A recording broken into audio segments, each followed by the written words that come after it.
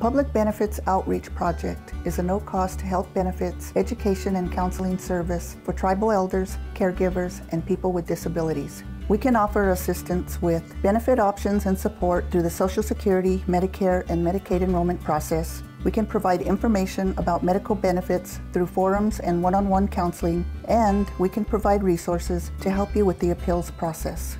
We are trained to provide accurate, objective, and confidential counseling to clients in an effort to prevent Medicare fraud and abuse.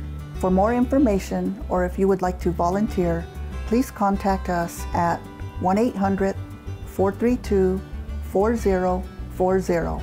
Remember, Medicare matters. This message is made possible by the Intertribal Council of Arizona, Incorporated, Area Agency on Aging, Region 8, the Administration for Community Living, and the Arizona Division of Aging and Adult Services.